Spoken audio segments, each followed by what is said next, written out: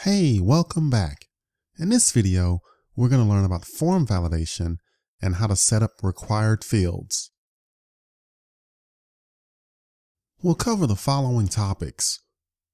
We'll start off with the required fields demo, then we'll learn how to create required fields on our form, and then we'll move into displaying the validation error messages. And finally, we'll wrap it all up with a full JSF page example. So we have a lot of good things in store for this video.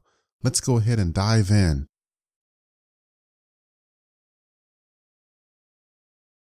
Let's start off first by taking a look at a demo for the application. So I have a very basic form. I have two fields that are required, the last name and the email. Those two fields are required.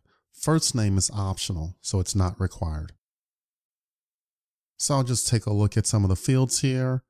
And what I'll do first off is I'll just test it. I'll just hit submit and it's going to give me the error messages. So as I mentioned earlier, last name is required and also the email address is required. So I'll go back and I'll add some data for the first name, some data for the last name, and then hit submit. And says, okay, you're almost there, but email address is still required. So I still need to give a value for email address. Okay, great. I'll go ahead and enter my email address. Uh, my email address is johndoe at luv2code.com. And then I'll hit submit.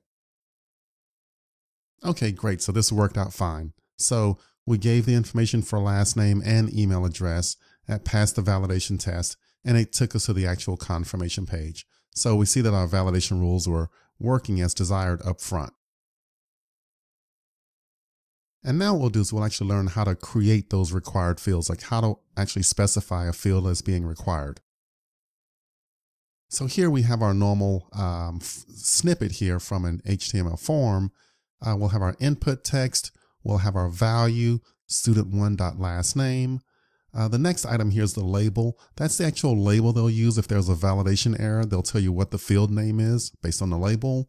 And also here, we're going to say required equals true. So here, Pretty straightforward, right? This field is required. Uh, if you don't give this value, then it defaults to being false.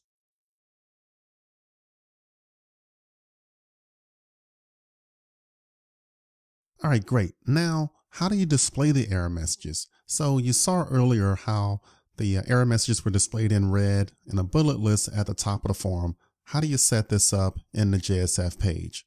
Well, over on the right hand side, we have a little snippet of the source code. And so take a look at line 20. On line 20, we're going to make use of this new element called messages, H colon messages. What this will do is that this will actually check to see if there are any error messages. And if so, it'll display those error messages as a bullet list. And actually, it's more than just error messages, basically any message. But here, uh, the case of error messages. We can also style the error messages. So we can set up a cascading style sheet style for the message. So here, I'm going to define this class called error. And up top on lines 10 through 12, we specify that style for error. So basically we're saying the color of the text is going to be red. Now this is regular S, um, sorry, this is regular CSS work or cascading style sheet work. Um, you could define the styles in a separate file if you'd like, but here, just to keep things simple, I put it in the same file as the uh, JSF. But the key item here is in order to, to uh, display messages, you make use of the H colon messages element.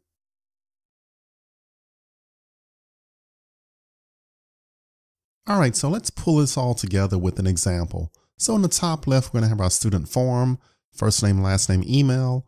Uh, the two fields for last name and email, those are going to be required. In the center, we're going to have a managed bean. I'll call it student one. And then at the bottom, we'll have our student one response page. This is basically just our confirmation page uh, for the uh, user and uh, their email information. So those are the big pieces here that we'll have in the application. And I'll actually walk you through each one of those uh, coming up here.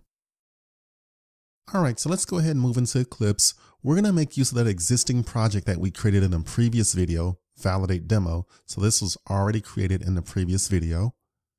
What I like to do is I like to start off with actually creating that JSF form to read the uh, user input data.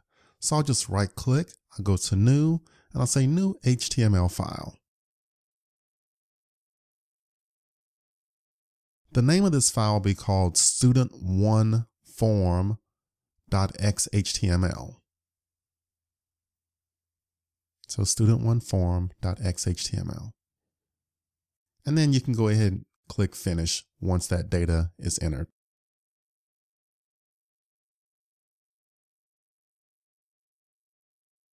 Now by default, they're going to give you a very basic template. Um, again, like in some of the previous videos, just go ahead and highlight everything and just delete all of that text. We're going to start from scratch. All right, so I have an empty file right now. Now I'm going to go through and drop in some elements here uh, for this JSF page.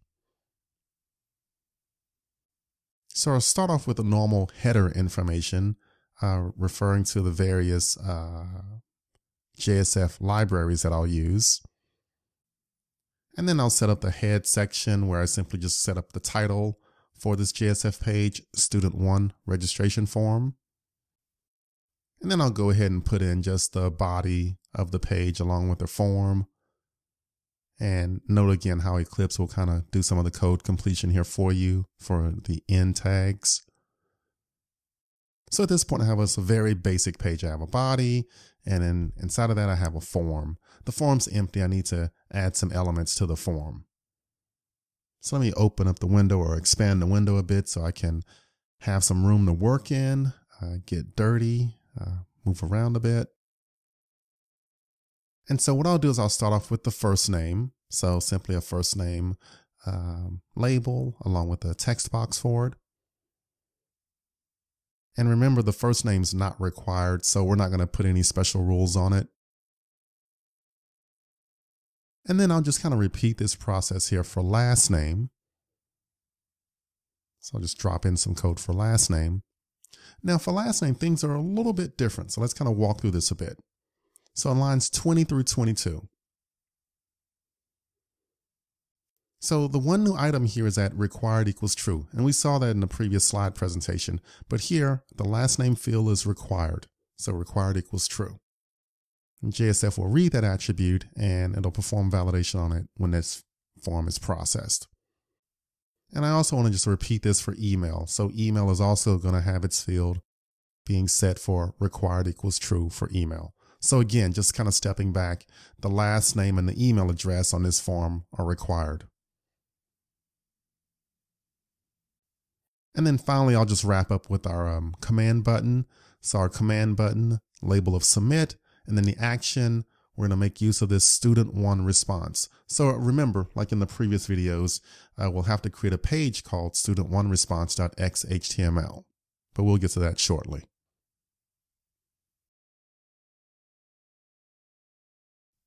All right, so this all looks really good. So we have our basic form set up and uh, it's ready to go. So now let's go ahead and take care of some of our other work. And there's one more thing we have to do. We need to set up the uh, displaying of the error messages. So here I need to make use of the H colon messages. So this will, again, check for any error messages. If it finds some, it'll display and bullet list of all those error messages. And also I'm referring to this style class called error um, I haven't defined it yet in this file, so let's go ahead and move up top and define it um, in the header section. So moving into the header section, I'm simply going to define a um, style and the style class is called error. And here we're simply setting the font color to be red. So that's how we we'll get all of our error messages in red. And again, you could make use of your own styles here, or you could import a given style sheet. But here I'm just keeping it simple right now for our basic example. Now, the next thing we need to do is we need to actually create our managed bean uh, to actually hold our form data, right? So moving back over here into the window, I go to source. Um, actually, I need to create a package so I'm going to go right click new and I'll choose package because I want to put the managed bean into a luv2code package here. So for the actual name of the package, I'll call com.luv2code.jsf.validate demo. And that's the actual name of my package that I'm going to use for my managed bean. And once you're happy with that, you can go ahead and click finish. It'll create the package. Um, that's kind of what it looks like here on the screen. And now this is where I'm going to place my managed bean. So on the package, I'll just right click. I'll say new class. The actual name of the class that I'm going to use is called student one. So student one. I'll keep all the other defaults here in this example. And once I'm happy with this, then I'll go ahead and click the finish button in the bottom right. Okay, great. So we have this very basic class here called student one. Let me just expand the window. This is going to be our managed bean. So I give the managed bean annotation.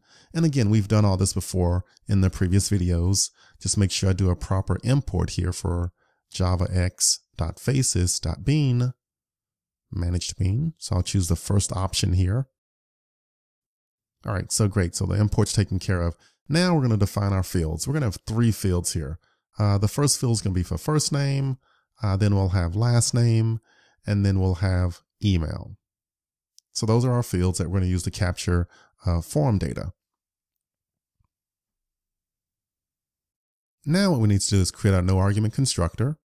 So again, we create the constructor. It has the same name as the class. So public student one. Okay, and just does nothing for now. So give me some time to give us some working room here. And the next thing we want to do is create our getter and setter methods. And again, just like the previous videos, we're going to make use of the Eclipse trick to just right click, choose source, and then select generate getter and setters. Eclipse will bring up the dialog. I'll go through and I'll select all of those items here, email, first name, and last name, except keep all the other defaults, and then select OK. All right, great. So Eclipse did a lot of work here. Let me just kind of move move around here and just take a look at everything that was completed. So here, um, Eclipse went through it, created the getters and setters for first name, it did a similar thing here for last name and finally for email. So again, the basic things that we need to do for our uh, JSF beans. So we have our managed bean created, we have our no argument constructor created, and we also have our getter and setter methods in place. So this bean's ready to go. Good job. All right, and the next thing we need to do here is uh, create the confirmation page or the response page. So I'll just do a right click. I'll say new HTML file. The name of this file is going to be called student1 response.xhtml.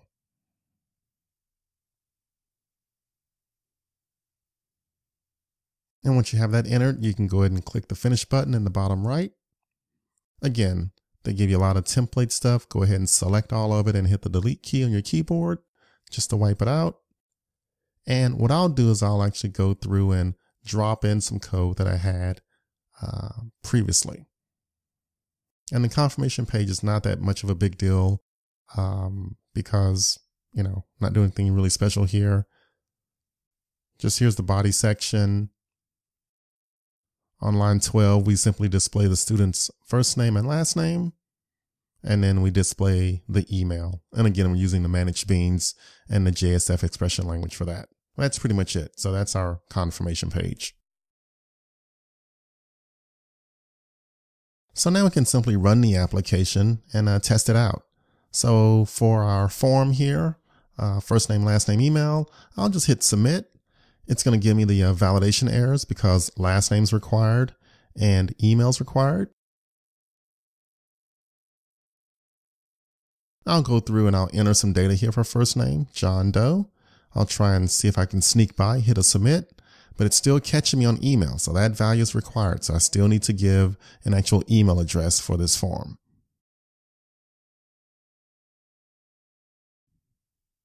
So here I'll just enter John Doe at luv2code.com. Now hit submit.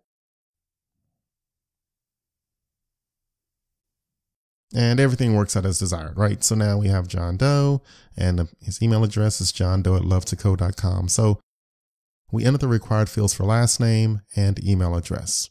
Good job. This looks really good. All right, so let's go ahead and summarize this video. We started off with our application demo. Then we learned how to create the required fields. Next, we covered how to display the validation error messages. And then finally, we pulled it all together with a full JSF page example. So great job. You learned the basics here on handling validation rules for required fields. Well, this wraps up the video. In this video, we learned how to validate JSF forms with required fields. Stay tuned. I have a lot of more validation rules to cover and we'll do a deep dive on those in each separate video.